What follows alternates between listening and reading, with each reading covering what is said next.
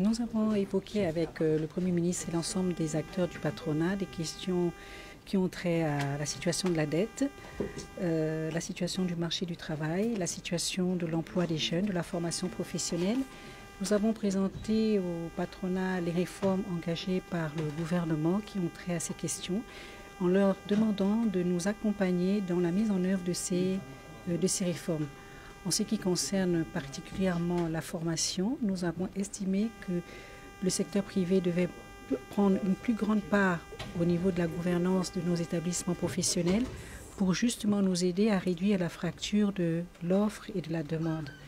Donc, euh, il s'en est suivi un débat riche et plein de, de, solutions que nous allons faire prospérer dans les tout prochains jours avec des rencontres que nous aurons avec eux pour aller plus dans le détail et plus en profondeur sur la concrétisation. Être concret, c'est d'abord améliorer la commande publique, euh, se diversifier, ne pas euh, exclusivement avoir pour euh, client l'État gabonais, c'est donner une part plus importante à la sous-traitance, c'est-à-dire effectivement investir.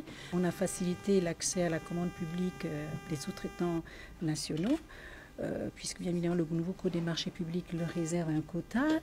on a effectivement mis en place une politique très forte d'encouragement de l'entrepreneuriat des nationaux pour essayer de leur, leur demander d'embrasser tous les segments de l'économie qui nous échappent beaucoup. Donc je pense que tout est fait pour créer cet écosystème qui va permettre justement l'éclosion de ce, tissu d'entrepreneurs avec des responsabilités fortes et avec euh, euh, cette envie de, vouloir créer une véritable croissance inclusive qui touche bah, toutes les chaînes de valeur euh, du développement économique la question de la dette était au centre des préoccupations de, nos partenaires. La question que nous, nous avons dit clairement que la dette va être payée. Et d'ailleurs, mon collègue du budget vous l'a démontré que euh, rien que cette année-ci, il y a eu un, PMA déjà de plus de 200 milliards. Et ces PMA va se poursuivre, mais à une seule condition. Vous savez, on doit payer, mais on doit savoir ce qu'on paye. Et il n'y a pas mille façons de savoir ce que l'on paye s'il n'y a pas d'audit.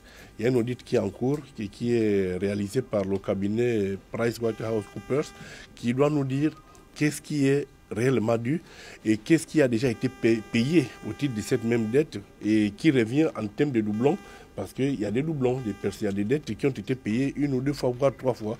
Et aujourd'hui, nous, nous allons mettre en lumière tous ces, tous ces dysfonctionnements pour que nous puissions savoir la dette réelle, la dette qui est due aux entreprises et à qui on doit cette dette-là.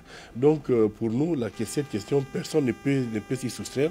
C'est un engagement. Lorsque les entreprises travaillent pour l'État, en contrepartie, l'État se doit de payer parce que ce n'est pas normal. Sinon, nous serons à l'origine de la fermeture d'entreprises alors que nous sommes là pour que les entreprises vivent et pour que ces entreprises continuent à créer de l'emploi.